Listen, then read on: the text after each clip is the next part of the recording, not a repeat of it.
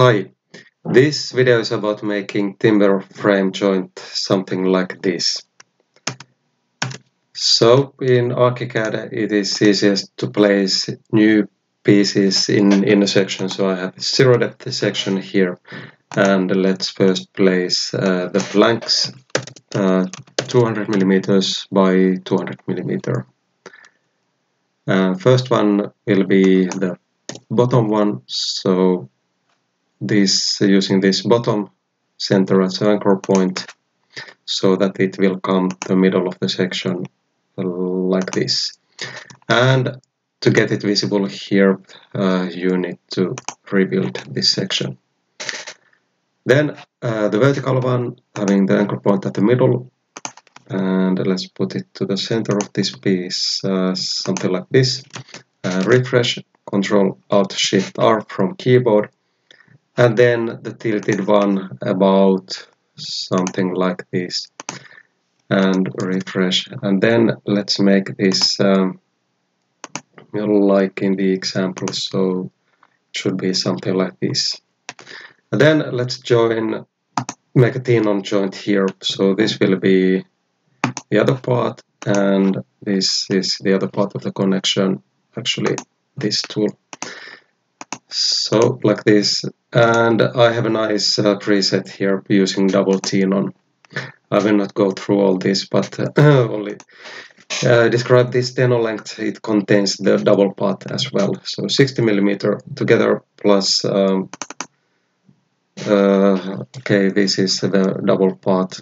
Let's say it will be 30 and housing depth let's use 20 here. And re define the preset. Do new, we have it like this, and the same in 3D. We have a look at look at these two parts, showing only this one. So we have the double uh, mortise here, and everything in 3D, and the double tenon here.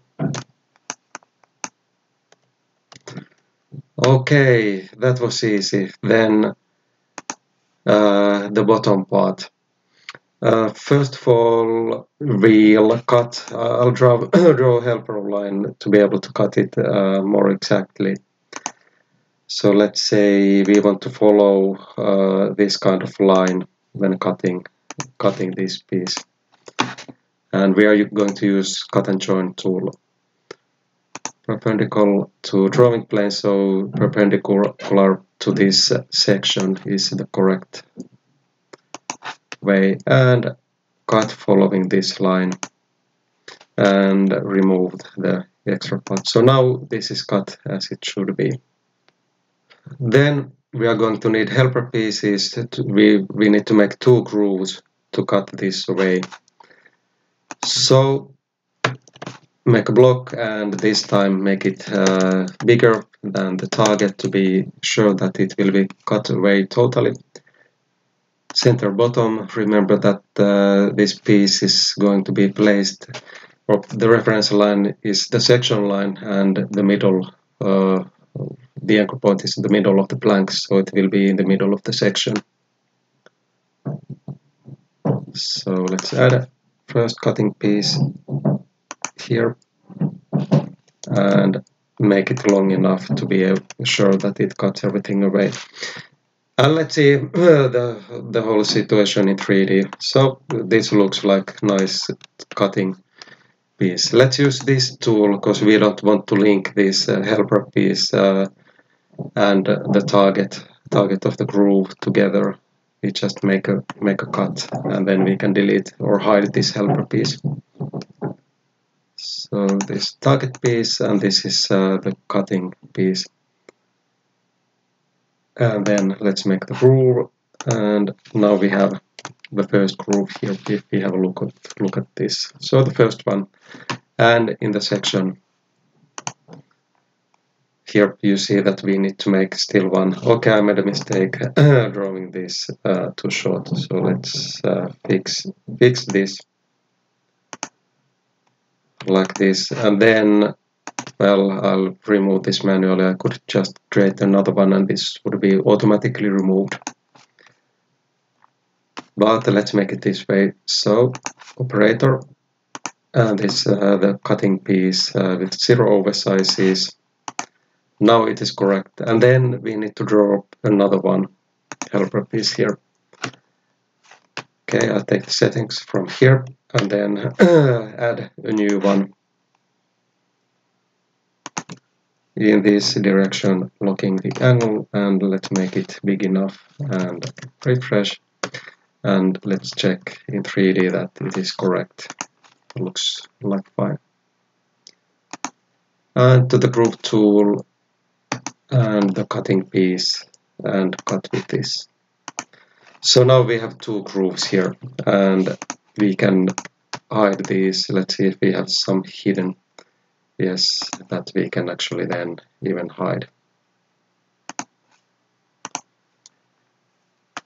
And let's see these uh, three parts in Hundegger and first we need to give IDs to these. So it uh, starting with 100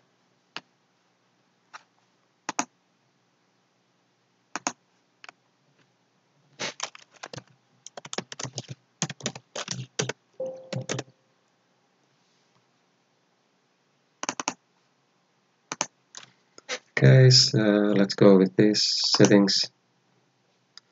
And let's see the resulting file.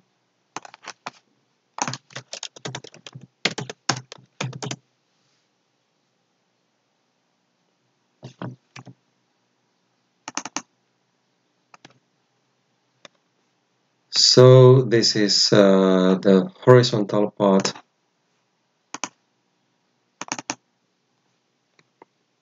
uh, the column